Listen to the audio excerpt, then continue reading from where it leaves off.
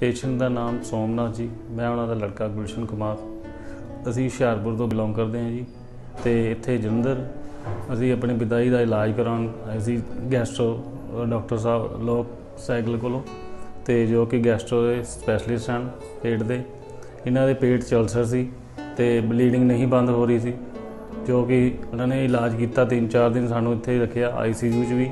ਫਿਰ ਉਹਨਾਂ ਨੇ ਕਮਰੇ ਸ਼ਿਫਟ ਕਰ ਦਿੱਤਾ। ਜੋ ਕਿ ਬਹੁਤ ਵਧੀਆ ਰਿਸਪੌਂਸ ਮਿਲਿਆ ਸਾਨੂੰ ਤੇ ਇੱਥੋਂ ਦਾ ਨਰਸਿੰਗ ਸਟਾਫ ਤੇ ਸਾਫ਼ ਸਫ਼ਾਈ ਦਾ ਬਹੁਤ ਖਿਆਲ ਰੱਖਿਆ ਜਾਂਦਾ ਹੈ, ਜੋ ਦੇਖ ਕੇ ਸਾਨੂੰ ਬਹੁਤ ਵਧੀਆ ਲੱਗਾ